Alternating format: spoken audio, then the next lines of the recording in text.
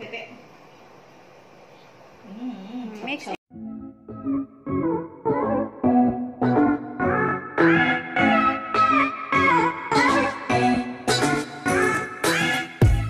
Here, salt, milk, evaporate milk, wheat flour, one egg, sugar, oil, And and baking soda. Okay. Let's show you the beat.